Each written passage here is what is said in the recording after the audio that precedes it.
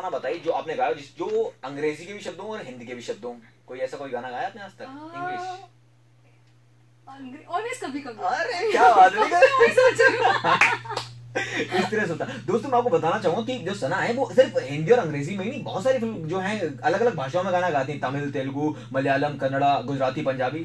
हैं? हाँ हाँ की कोई लैंग्वेज ऐसी बची इसमें आपने नहीं गाया है हाँ? साउथ इंडियन लैंग्वेजेस में ज़्यादा मतलब कंफर्टेबल हूँ but yes I tried all these languages because ads होते हैं या जिंगल्स होते हैं उसमें मैंने ट्राइड डेफिनेटली किया है। और रिसेंटली इनफैक्ट एक मराठी गाना भी रिलीज़ हुआ the movie is called Rangeela Raybaa और गाने। का नाम है आभार।